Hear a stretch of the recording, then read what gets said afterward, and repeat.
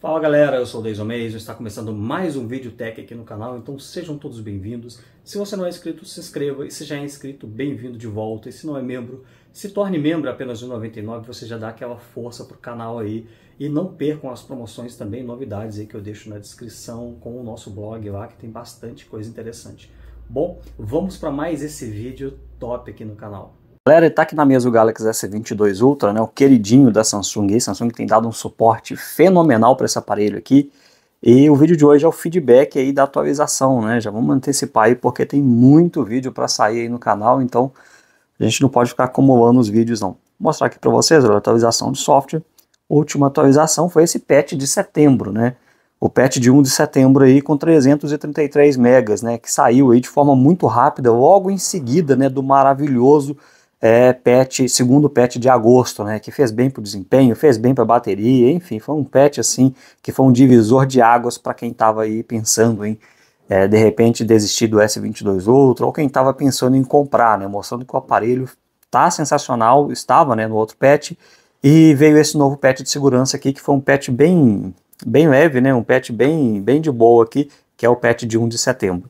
Bom, é um patch leve, um patch tranquilo, tá? Primeiramente que você percebe a fluidez de sistema incrível, não é, detonou nenhum recurso, o modo recovery funcionando normal, o Lycan também está aqui funcionando normal, dá para você desativar seus bloatwares, seus apps de sistema que você não estiver usando, desativar alguma coisa. É, 120 Hz com economia de energia, com, aquela, com aquele truquezinho do Galaxy Max Hertz, né? funcionando também. Então, basicamente, não tivemos problema nenhum assim de compatibilidade de nada. E a fluidez de sistema impressionante, hein, Samsung? É realmente impressionante essa fluidez de sistema da Samsung. O aparelho está muito, mas muito rápido. Cara, é incrível o poder aí que um Snapdragon dentro de um aparelho da Samsung é capaz de fazer, né? Que é o Snapdragon 8 Gen 1.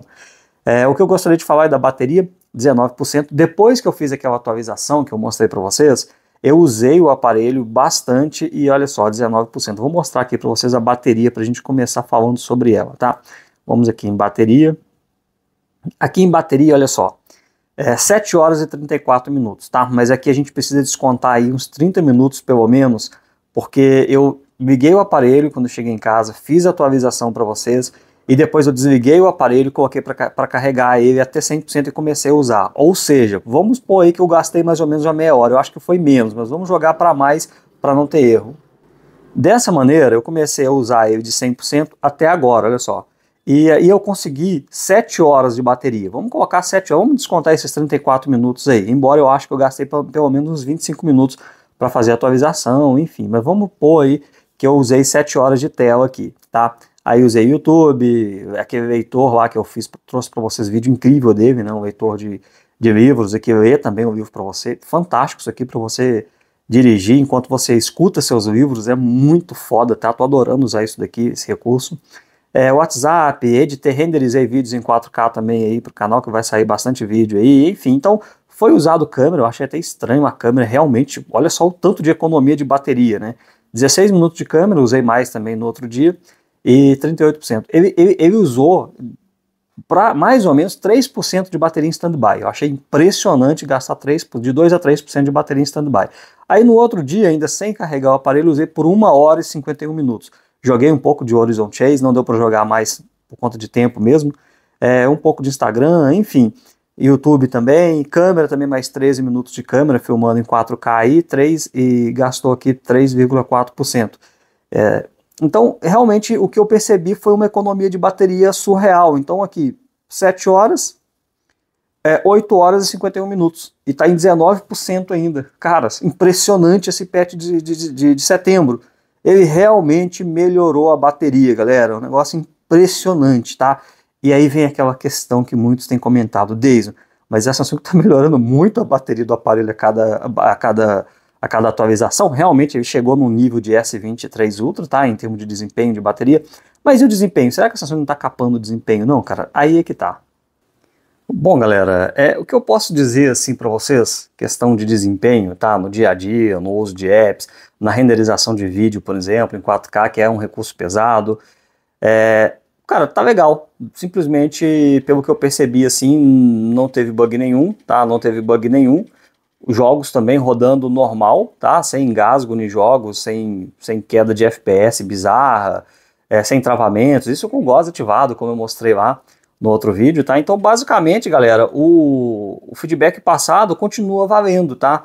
Ele tá com as câmeras também, usei bastante para tirar fotos assim, fiz umas fotos, uns vídeos também. E a qualidade se mantém assim, tá? Então, como a gente pode ver aí, olha, 35 graus, né? O aquecimento em jogos, alguns jogos estão aquecendo mais, mas em jogos normal, né? O que ele não pode aquecer é o uso do 5G, por exemplo, é, com dados móveis, é, é, você escutando uma música, abrindo pelo menos uns 5 a 10 apps ali, isso não pode acontecer o, o superaquecimento, tá? E isso não está aquecendo, mesmo em dias extremamente quentes como tem, tem sido aí. Então, o desempenho dele está realmente fantástico, tá? Como vocês estão vendo aí, olha, não estou encontrando lags, bugs, nada do tipo em jogos, né? Os 90 FPS rodando vizinho, vizinho aí, galera, para quem gosta aí, né? Então, cara, basicamente aí um patch de segurança aí interessante, né? E agora a questão da bateria, né? Vamos ver se ela se mantém aí, né? Vamos ver se ela se mantém top do jeito que está. Porque, cara, o S22 Ultra foi só melhorando exponencialmente. E em jogos, é o que eu falo. A sua aparelho está esquentando em jogos, cara, usa esse tipo de cooler aqui, tá? Sem fio, e isso aqui ajuda demais na dissipação de calor. Eles são colocados dessa maneira no smartphone, olha. E simplesmente, olha, esse é o volume máximo, é bem silencioso, ele tem 3.000 mAh de bateria. Isso, isso é para jogos, tá, galera? Não para o uso do dia a dia. Então, você que vai jogar ali bastante por longos períodos, é interessante ter uma forma de resfriamento ali. Não é igual dos smartphones games, mas dá uma, uma ajuda. E principalmente se você for usar, por exemplo, para é, USB Power Delivery. Então, enquanto o aparelho está conectado, carregando, ainda pode usar um dissipador de calor. Então, você vai, além de preservar a vida útil da sua bateria, ter um desempenho realmente satisfatório aí num cooler que não vai gastar a bateria do seu smartphone. Agora uma dica, né, extra também, a gente está falando de atualização, né, a gente vai vir aqui, olha, em configurações, e você vai pesquisar aqui por segurança e privacidade, tá? Vai aqui em segurança e privacidade, aqui você vai tocar em atualizações, olha só, e atualizações do sistema Google Play Store e vai verificar aqui e tem essa atualização de 65 megas, tá? Faz o download dessa atualização e aí, galera, feito essa atualização aí, pelo menos os seus apps, tudo vai estar tá, é, tudo certinho aí com atualizações mais recentes também, tá bom? E de resto é isso, galera. Agora eu vou colocar o aparelho para carregar, porque quando ele chega em níveis assim, né, a bateria começa a descarregar até mais rápido quando chega nos 15, ali nos 15% não é legal ficar deixando baixar muito, né? Mas de resto, eu diria que essa atualização aí, ela foi muito bem-vinda, né? Foi um complemento aí daquela mega atualização do patch setembro. Foi uma atualização tranquila, então não tive problema com desempenho nenhum, não tive problema com bugs, não tive problema com nenhum aplicativo, tudo rodando liso. E basicamente é isso, galera. Então super recomendo essa atualização aí do patch de 1 de setembro, né? Do patch de segurança de setembro. Pode fazer tranquilo, qualquer bug que você tenha encontrado eventualmente, me avisa nos comentários aí. E lembrando que a tela continua perfeita, né? sem linhas na tela, sem nada do tipo. Enfim, o aparelho continua simplesmente é, excelente e super válido o outro vídeo que eu fiz do feedback da atualização gigante de setembro, porque continua igual, tá? Só que a bateria me parece, pelos testes iniciais, assim, que melhorou um pouco, tá? Mas de resto, é, eu falo melhorou um pouco porque em stand-by está consumindo menos, gravação de vídeo, por exemplo, está consumindo menos também. Então, o que mostra pra gente que a bateria melhorou e a Samsung não capou o desempenho, né? Então, fantástico isso aí. Deixe seu like, seu comentário e até o próximo vídeo, galera. Bom, galera, gostaram demais desse vídeo? Mas deixou seu like aí? Se não deixou e gostou do vídeo, deixa seu like aí, não custa nada e ajuda aqui o canal. E se você não se inscreveu ainda neste canal, olha aqui, ó, se inscreve aí para você não perder nenhum vídeo. E também eu vou deixar duas indicações de vídeos aqui para vocês que vocês vão gostar bastante se vocês ainda não viram.